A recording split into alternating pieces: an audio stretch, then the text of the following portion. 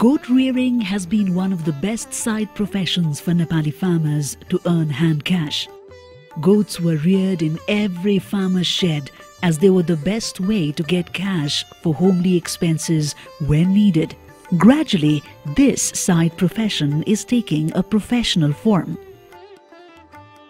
Mountain goats reared in the mountainous areas, Sinhal breed reared in the high hilly areas, Khari breed famous in the hilly and mid-hilly areas, and the Tarai breed in the lowlands were considered indigenous breeds of goat in Nepal. The Tarai breed is almost extinct now, while the number of Sinhal and mountain goats is also on the decline. The Central Goat Research Development Center was established in Bandipur of Tanahu in the year 1977 to carry out research on goat, their grass and fodder and avail farmers with he goats for breeding. The center initially specialized on Khari breed of goat and advised farmers on various aspects of goat rearing. However, due to same breed mating, lack of adequate fodder and nutrition, as well as treatment, led to the decline of Khari breed, and at the same time, the interest of farmers in goat rearing took a nosedive. Farmers complained of not getting enough return compared to the investment. In this context, the then director of the National Animal Science Research Institute, Sambhu Bahadur Pandey, in 2009 borrowed two Boer breed he goats from Mahesh Basnet, a farmer in Nuwakot, who had imported the kids from South Africa. As an experiment, crossbreed mating was done between Khari and Boer breeds at the center to enhance the offspring by producing genetically superior kids. As the results were encouraging, the program started distributing the second generation he goats to local farmers for mating. Today, the program is rearing pure breeds of Boer, Sanan, also known as dairy goat, Barbary and Khari, along with some Sinhal goats for gene preservation. Likewise, the program has been distributing pure Boer breed he goats and enhanced hybrid kids to local farmers after cross-mating Boer he goats with Khari and Jamunapari breeds. देशमा भएका उन्नत जातका बाख्राहरूको उत्पादन तथा वितरण गर्ने र सँगसँगै यसले चाहिँ अन्तर्राष्ट्रिय संस्थाहरूसँग युनिभर्सिटीहरूसँग समन्वय गरेर प्रपोजलहरू ल्याउने र देशमा किसानहरूको परेका देशभरि परेका किसानको समस्यालाई पहिचान गरेर त्यसमा अनुसन्धान गरेर प्रविधिहरू प्रसार गर्ने र उन्नत नस्लका बोकाहरू चाहिँ किसानहरूलाई वितरण गर्ने यसको कार्यक्रम रहेको छ A research program will only be successful when the community directly gets benefited from the outcomes. The National Goat Research Program has realized as well as materialized this fact. The program has established resource centers in Tanahu, Gorkha and Syangja districts.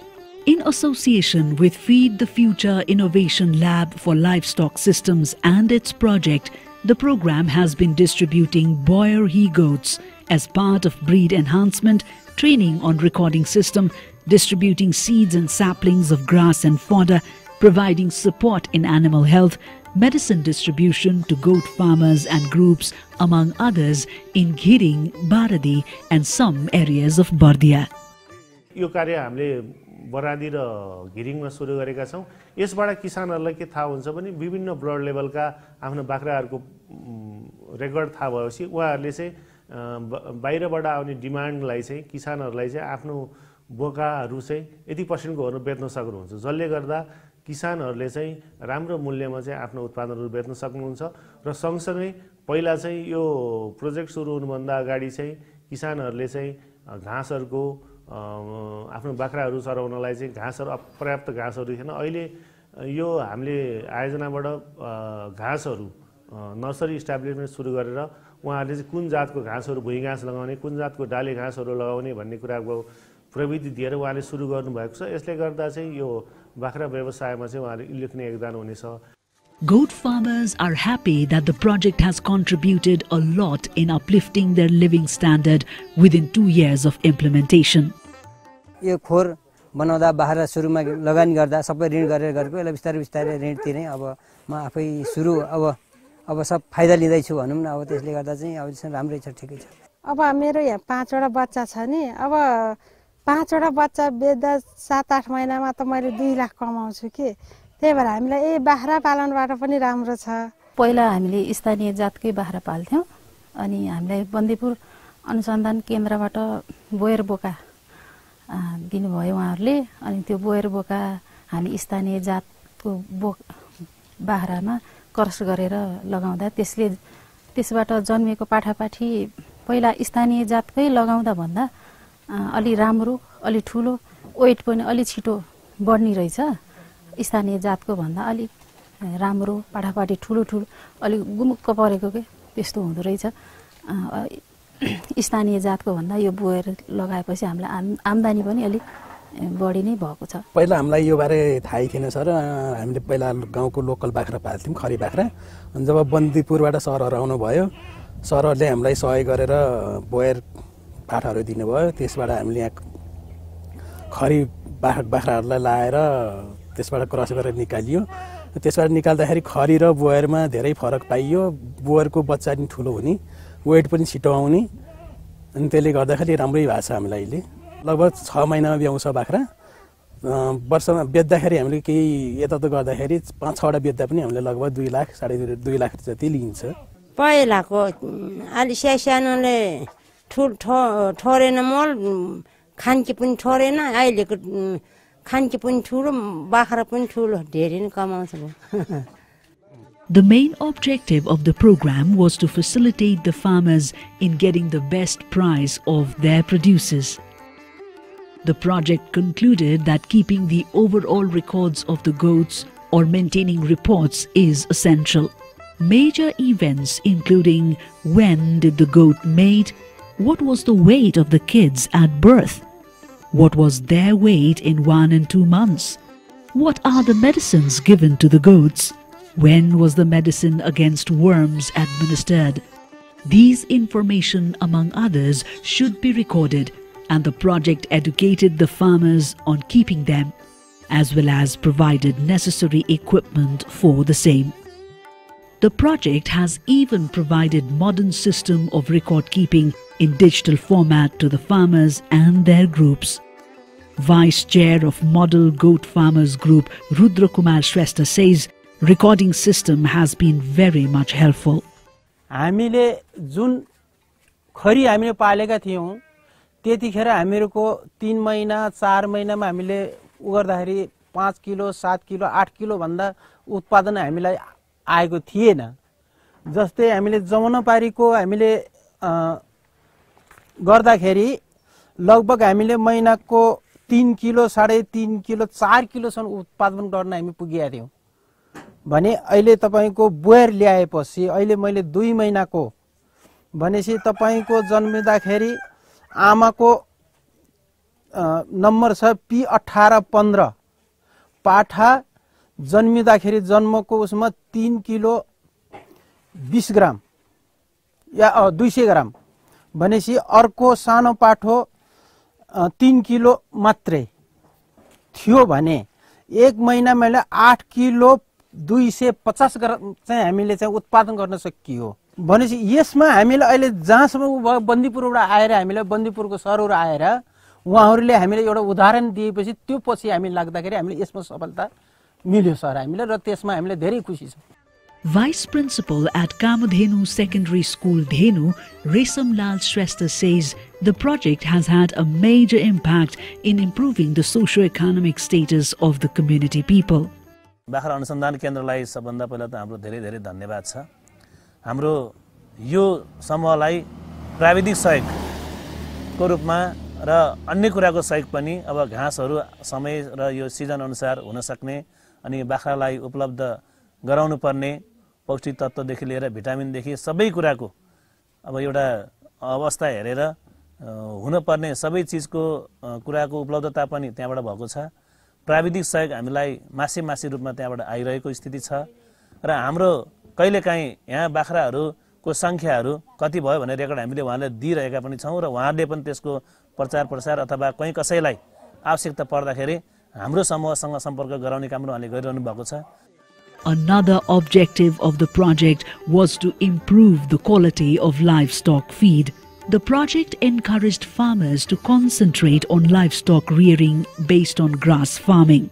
Grass farming not only drastically reduced the production cost but also improved the health of the goats as the nutrients and minerals needed were adequately supplied. The farmers took to grass farming with ease. The National Goat Research Program provided goat farmers with seeds and saplings of grass and fodder trees.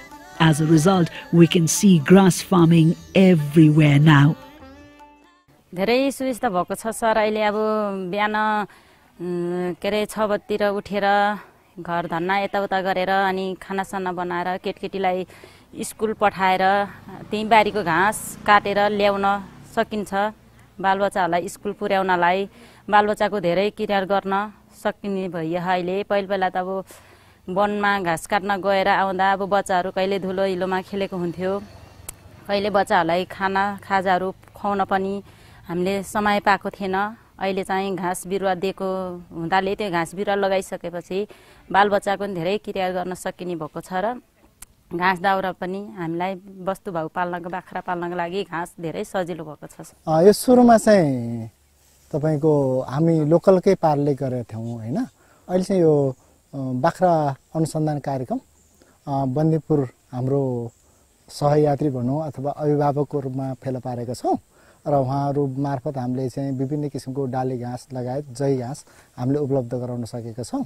अनि थोरै हाम्रो कृषक लेभलमा चाहिँ यो जै घाँसले गर्दाखेरि धेरै बाख्रा पालनको लागि थप प्रेरणा चाहिँ मिलेको छ Senior Technical Officer at the National Goat Research Program, Buddhiram Acharya says growing grass reduces the cost of goat farming to a larger extent, as well as helps in maintaining the health of the goats.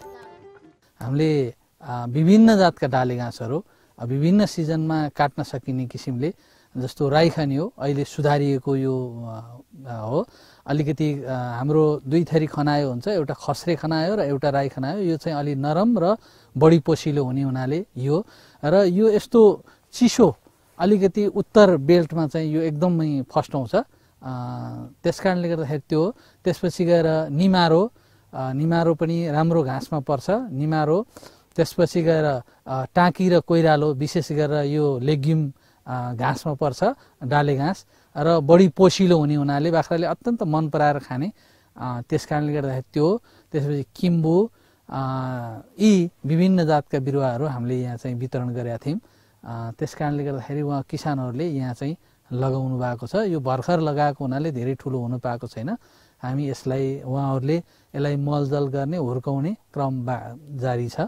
र पुरानो उहाँहरूले लगाएका आफ्ना डाले घाँसहरू छँदैछन् त्यस कारणले हामीले डाले घाँस नै फोकस गर्नुपर्छ बाख्रा पालनको लागि विशेष डाले घाँसमा महत्त्व छ भन्ने हिसाबले हामीले उहाँहरूलाई डाले घाँसका बेर्नाहरू दिइरहेका छौँ The more the farmers paid attention to the health and nutrition of goats, their profit increased. Since the kids from Boyer and crossbreed of Boyer with Khari and Jamunapari grow faster and gain weight quickly, it is very important to pay proper attention on their nutrition to expedite their growth. Chief of National Livestock Feed Research Center, Lumanidhi Pandey says farmers have started paying special attention to the feed and nutrition of goats. बाख्राको लागि डाले घाँसको nursery स्थापना गर्ने होइन अनि तिनलाई उपयुक्त हुने जातहरूको अरू घाँसहरू बिउ बेर्नाहरू कृषक कहाँ सहज पुर्याउने तिनीहरू सम्बन्धीको ज्ञान दिने तालिम दिने यी कामहरू एउटा हामीले चाहिँ गरिरहेछौँ। र अर्को यो ठाउँ पछि पनि फरक छ र यो सस्तो पार्नमा अर्को एउटा महत्त्वपूर्ण के कुरा छ भने स्थानीय स्तरमै भएका खाद्य तत्त्वहरू खाद्य खाद्य पदार्थहरू को उपयुक्त संयोजन हामीले गराउन सकियो र उसलाई आ उसको शरीरलाई चाहिने खाद्य तत्त्व पुर्याउ गर्न सकियो भने बाहिरबाट ल्याउने आएर ल्याउँदा त महँगो हुन्छ। त्यस कारणले हामीले स्थानीय स्तरमै आहाराको प्याकेजहरू त्यहाँ के के छन् तिनलाई कुन संयोजनबाट चाहिँ बाख्रालाई आवश्यक बाख्राको अवस्था अनुसार आवश्यक खाद्य तत्त्वहरू पुरा गर्न सक्छ जस्तै गर्भिणीको लागि कुन कुन के के खुवाउँदाखेरि ठिक हुन्छ हिउँदमा के बर्खामा के हुर्काउँदोलाई के कसो यिनीहरू चाहिँ बाख्राको अवस्था अनुसार सिजन अनुसार हामीले चाहिँ बाख्राको चाहिँ बाख्रा पालक किसानहरूलाई चाहिँ सुझावहरू दिने सिकाउने कतिपय प्रविधिहरू चाहिँ डेमोन्स्ट्रेसन गरेर देखाउने यी आदि कामहरू गरेका छौँ Another important aspect for farmers is to maintain goats' health. सुरुमा त हामीले खोर व्यवस्थापन नै ध्यान दिने हो। त्यसमा चाहिँ कसरी सरसफाइ गरिरहेको छ कसरी त्यसलाई बाख्रालाई कसरी चाहिँ खाद्यान्न घाँस पानीहरू कसरी चाहिँ डाइट अनुसार टाइम टेबल अनुसार कसरी दिइरहेछ होइन? त्यो अनुसार चाहिँ गर्नुपर्ने पर्छ किसानहरूले। त्यही माथि केही जाने रोग लागिहाल्यो भने है तुरन्त आफूले घरेसी उपचार पनि पद्धति अपनाउन सकिन्छ। छैन भने नजिकको टेक्निसियनहरू प्राइभेटहरूलाई बोलाएर चाहिँ हामीले उपचार गर्न सकिन्छ। Only healthy goat can give better return. Goat farmers did not get desired return due to their failure in paying attention to goats' health.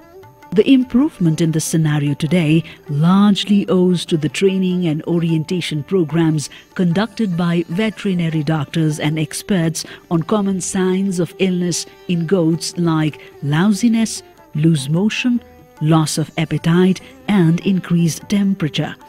Veterinary doctors often visit the farmer's home to treat their goats.